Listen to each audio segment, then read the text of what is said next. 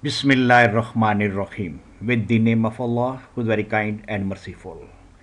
Welcome to my Topper Student channel. In this channel, you will find the solution of mathematics A level and O level and computer science as well. In order to search this channel on the YouTube, please use the word my topper student. You will find the channel my topper student. Today we shall discuss the third question of computer science 9618 variant 42 question number 3 for paper 4 practical session by June 2023. In question number 3, a company needs a computer program to store data about its employees. The part of the program is being written using the object oriented programming. The class employees store data about the employees. Each employee has an employee number, a job title, and hourly pay rate. The class will also store the amount they are paid each week over a 52 week year in a one dimensional array.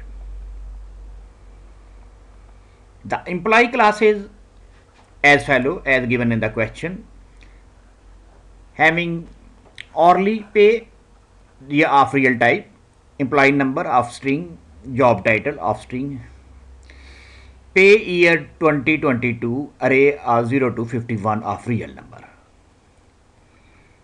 Similarly, the constructor for the classes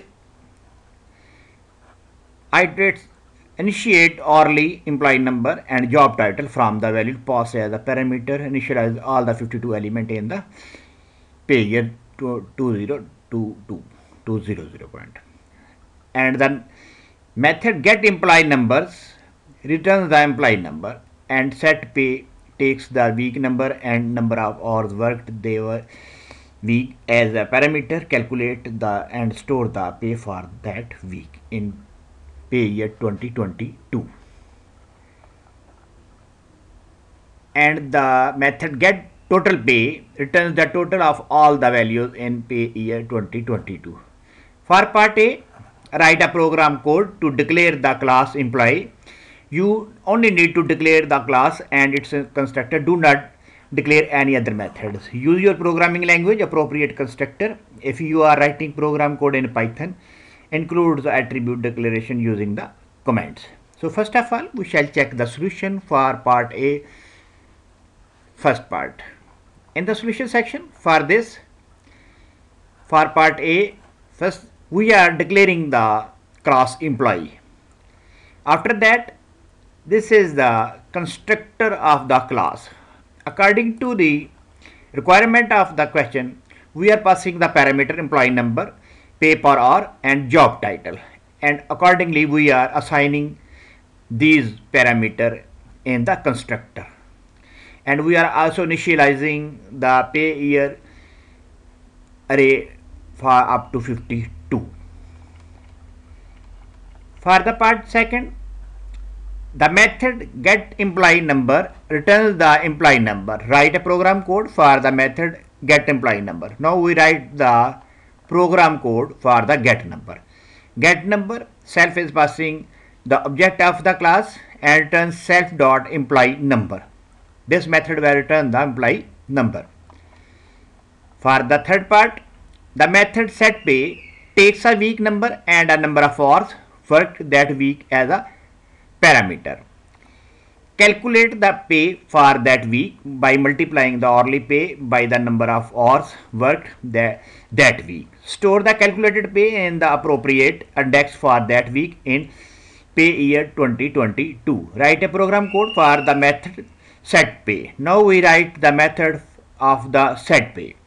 In the set pay method, we are passing the week number and the hours. After that we are calculating the pay according to the given week number. For the last one the method the method get total pay returns the total of all the values in the pay year 2022 write a program code for the method get total pays. Now we write the method for total pay and the get total pay self we are returning the sum of all the pay in a year 2022. For the part B, the child class manager inherits from the parent class employee. A manager gets a bonus. This bonus value is a parameter, for example, 10%. When calculating the pay, the number of hours the manager worked that week is, in, is increased by the bonus value. So, the manager class attributes are given. Like first one is bonus value, next is constructor, next is set pay method for the this and the for part A write up write the program code to declare the class manager. You only need to declare the class and its constructor. Do not declare any other method. Use your primary language as appropriate. Programming language as appropriate. Constructor. If you are writing in Python, include the attribute declaration using the command. So now first of all, we for the part 1, we are declaring the manager class. Class manager imply passing the employee for the inheritance and the constructor is self employee number pay per hour job title and bonus p. Super means the parent class. Initiate initiate initiate the employee number pay per hour job title and the add self dot bonus value equal to bonus. For the second the manager method set pay overrides the method from the parent class and takes the week number and the number of hours worked as parameter increases the number of hours worked by the bonus value.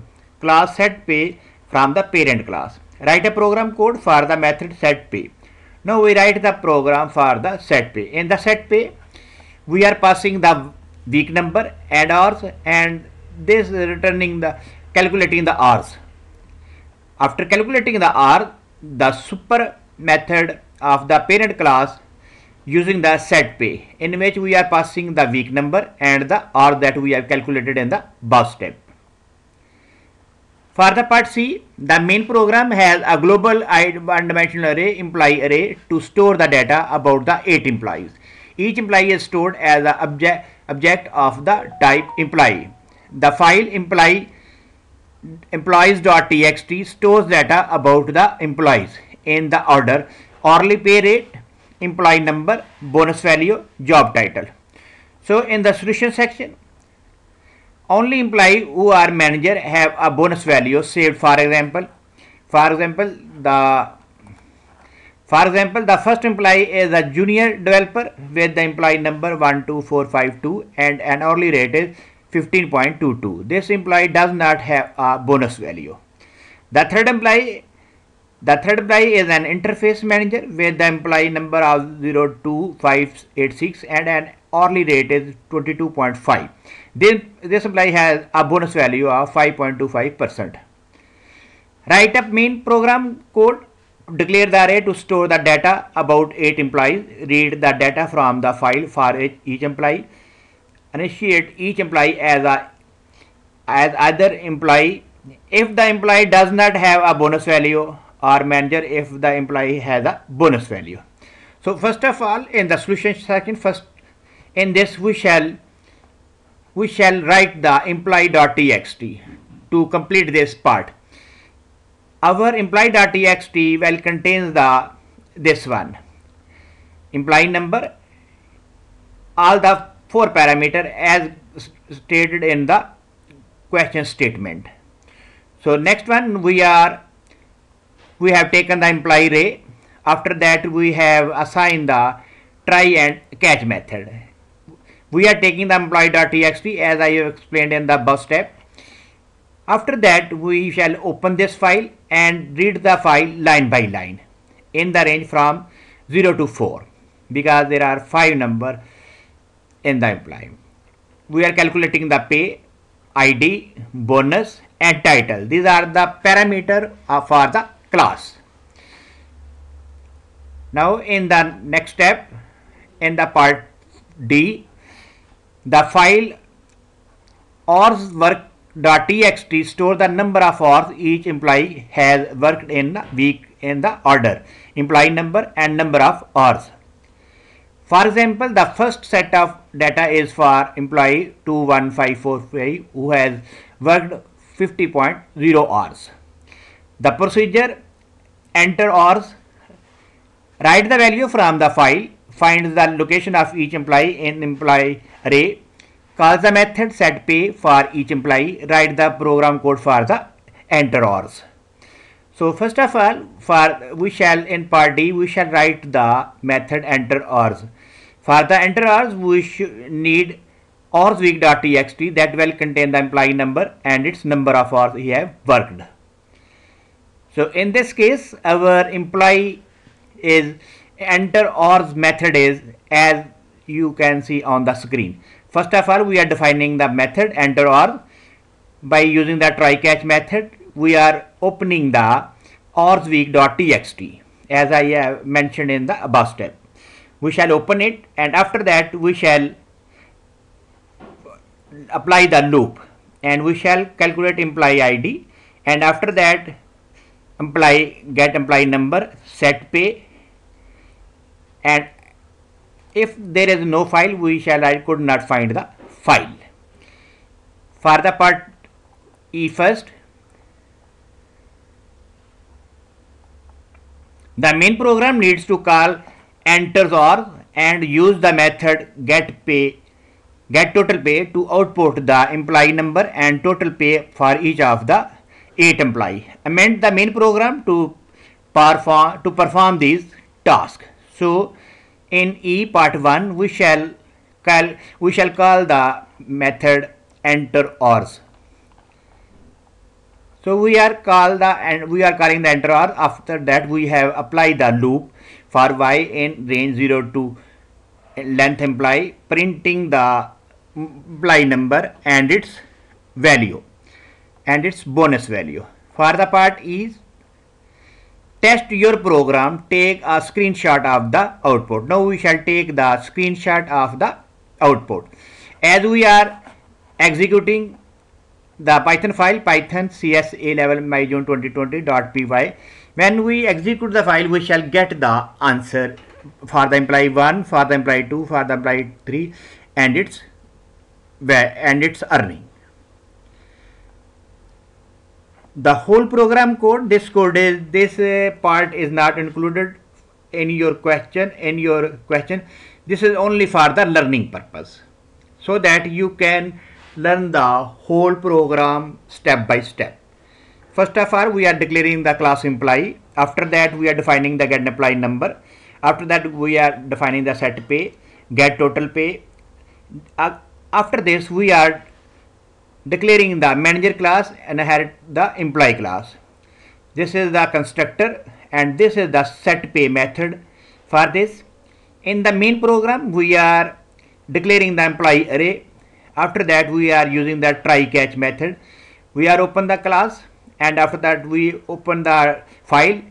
After that we are reading the file line by line and get the pay for the employee. So in this case, again we are declaring the employee array and define the enter hours method. As you can see, I have already explained in the above parts of the question. Thank you very much for watching the solution. Wish you good luck for your exam.